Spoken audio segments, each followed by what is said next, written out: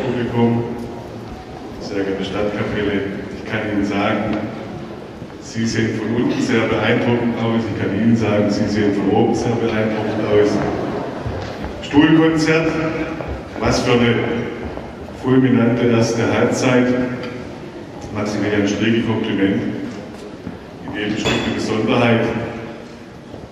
Kurz vor der Pause machen wir traditionell die Ehrung. Ich mache die für die, die Stadtkapellen-Ehrung sozusagen. Als Vorstandsmitglied, als Bürgermeister kommt dieser angenehmen Pflicht gerne nach und darf 2012 für zweimal 20 Jahre ehren. Ich mache es kurz. Ich mache praktisch die Vorgruppe von Georg Meyer. Kommen Sie hoch, Herr Meyer. Kommen Sie ins Licht. Er ehrt nachher die dicken Fische, die, die großen Hirsche. Ich darf zu mir bitten Daniela Trotter und Sibylle Schlenker. Ich bin jetzt, geneigt, den Walter Willaret zu zitieren. Er hat gerade gesagt, ich wünsche Ihnen viel Aufmerksamkeit für die Ehrung. Danke, Herr Trotter. 20 Jahre Stadtkapelle, ist seit 1982 aktive Musikerin in der Stadtkapelle spielt die erste Klarinette. Wir haben sie auch schon oft mit Soli gehört. Und sie war von 2009 bis 2011 Jugendwartin. Ich danke, denke ich auch im Namen des Publikums, für den Musikgenuss in der Vergangenheit durch die Klarinetten-Soli. Danke für das Engagement der Jugendarbeit. Jetzt müssen wir die Emmer, der wusste. Urkunde ja, super. Ich lese eine vor. In Anerkennung für langjährige Treue zur Stadtkapelle Kenzinger Daniela Trotter für 20 Jahre aktive Mitgliedschaft. Diese Urkunde Kenzingen den 17.11.2012.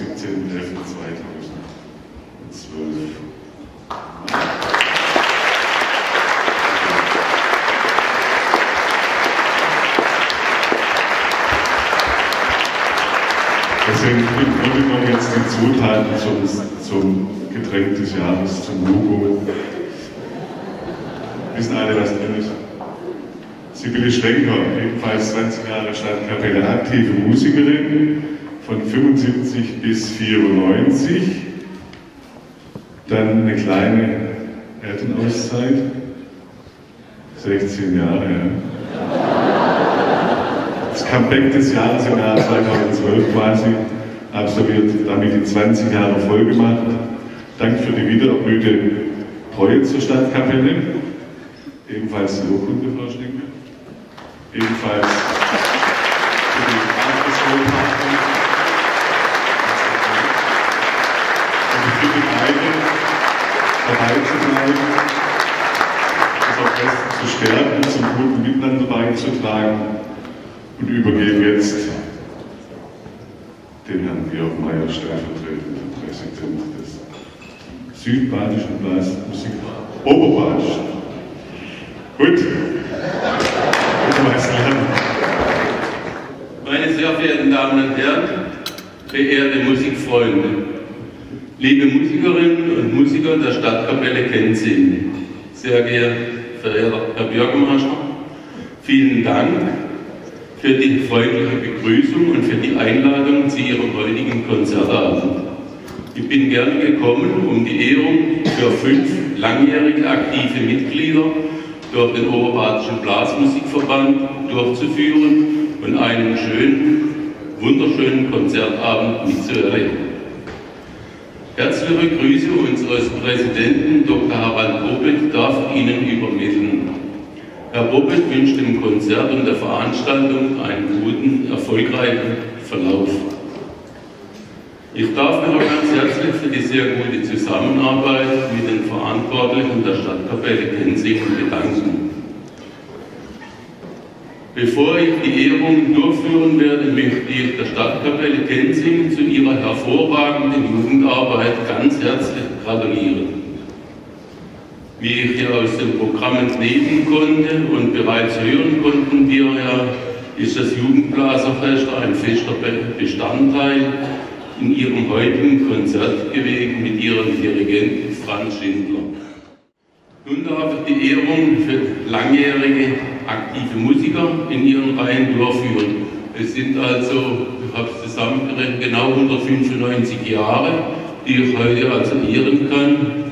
Und ich fange also an natürlich mit dem, der noch am jüngsten von den Jahren dabei ist, für 25-jährige Aktivität erhält die Urkunde des Oberbadischen Blasmusikverbandes und die silberne Ehrennadel des Bundesdeutscher Blasmusikverbände das aktive Mitglied, Herr Jörg Engler, an der Trompete. Für über 40-jährige aktive Tätigkeit, Moment, ich muss noch was beitragen, ich habe da noch einen Steckbrief drin und will nur sagen, der Herr Jörg Engler seit 1987 spielt er Trompete in der Stadtkapelle. Seit 2003 ist er der Herrscher über die Instrumente der Stadtkapelle. Jörg Engler ist bei allen Veranstaltungen eine wichtige Stütze, was den Auf- und Abbau betrifft.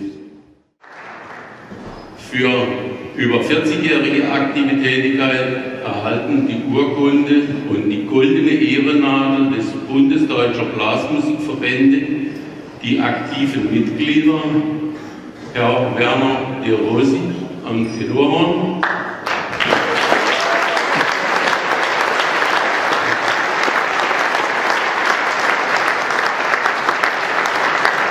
Werner De Rosi, seit 1999 spielt er Tenorhorn in der Stadtkapelle, zuvor aktiver Musiker im Musikverein Freiamt seit 1972. Seit 2009 ist er für die Finanzen der Jugend zuständig.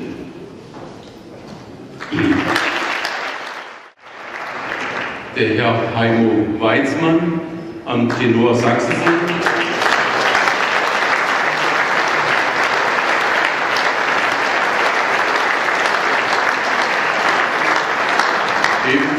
Ebenfalls 40 Jahre.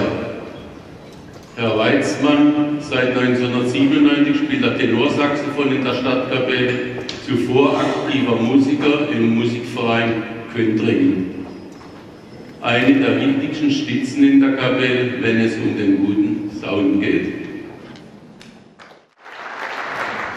Dann habe ich noch zu Ehren den Herrn Walter Villaret an der Tuba. Herr Walter Willawitz, seit 1972 aktiver Musiker in der Stadtkapelle. Er spielte Tenorhorn, bevor er an die Tuba wechselte. Er begleitete in seiner aktiven Laufbahn folgende Vorstandsposten, sechs Jahre Jugendwart, vier Jahre erster Vorsitzender, vier Jahre Treffner und sechs Jahre Schriftführer. Das bedeutet, nach Adam Riese, er hat die halbe Laufbahn aktive Vorstandsarbeit geleistet. Seit mehreren Jahren ist er als charmanter Moderator, was man ja heute Abend wieder hören kann, im Konzert nicht mehr wegzudenken. Und dann gibt es noch eine etwas seltene Ehrung für über 50-jährige aktive Mitgliedschaft erhält die Urkunde und die große goldene Ehrennadel des Bundesdeutscher Blasmusikverbände, das aktive Mitglied Herr Karl-Heinz Zeiser am Essen. Seit 1962 aktiver Musiker in seiner Stadtkapelle. Er spielt und spielte schon immer sein Esshorn. Zehn Jahre Notenwart und seit über zehn Jahren leidenschaftlicher Chronist.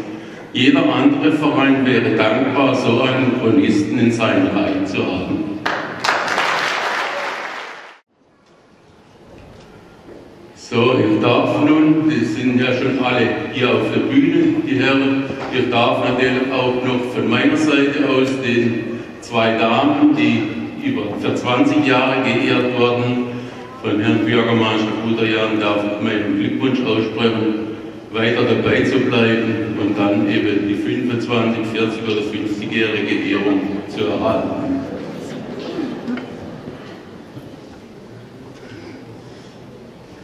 So, ich darf nun beginnen.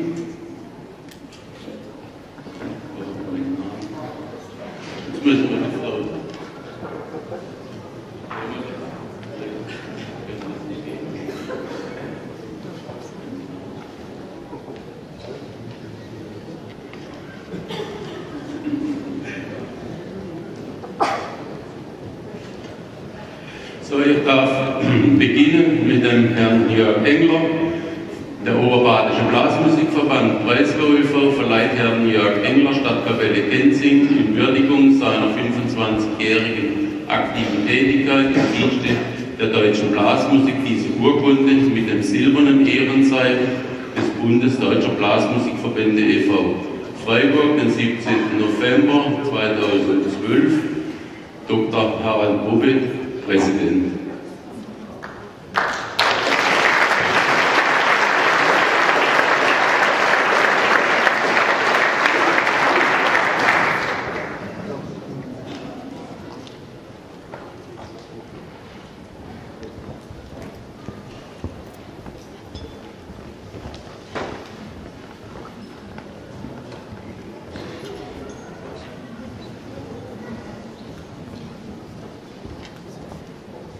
So, dann kommen die 40-Jährige.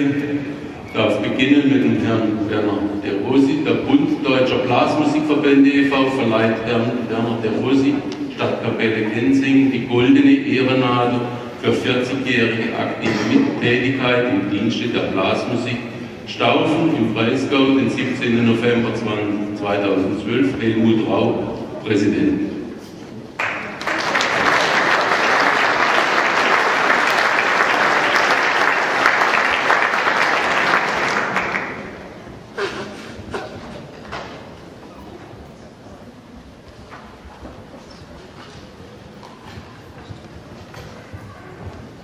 Derselbe Text natürlich dann eben für Heimo Weizmann, darf ihm auch die goldene Ehrennadel und die Urkunde überreichen.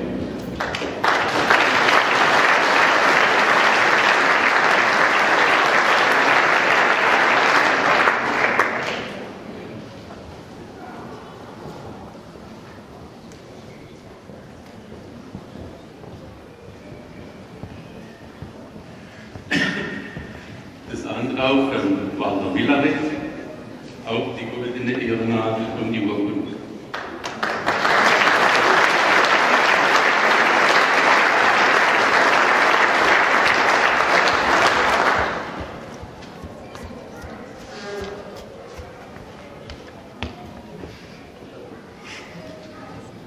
So, jetzt haben wir noch den Karl-Heinz Zeiser.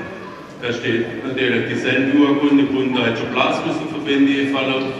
e.V. verleiht Herrn Karl-Heinz Zeiser, Stadtkapelle Kenzing, die große goldene Ehrennadel für 50-jährige Aktivitätigkeit im Dienste der Blasmusik. Staufen, 17. November 2012, Helmut Rau, Präsident.